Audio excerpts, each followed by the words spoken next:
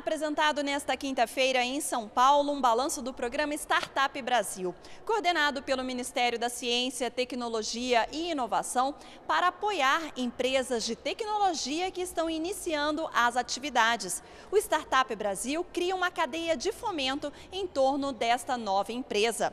Após um ano de aceleração das atividades, serão apresentados nesta quinta-feira 15 projetos de startup que vão participar de rodadas de negócios com investidores e também parceiros. No Startup Brasil, uma empresa aceleradora investe no novo projeto, apostando que ele vai gerar lucros em um futuro próximo. Em troca, se o startup der certo, a empresa vai ter um percentual do lucro que for obtido pelo novo projeto. De Brasília, Daniela Almeida.